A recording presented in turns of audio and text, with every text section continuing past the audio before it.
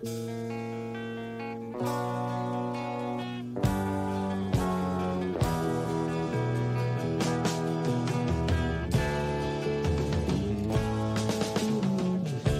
sits by a sewing machine, working through the night, trying to make ends meet.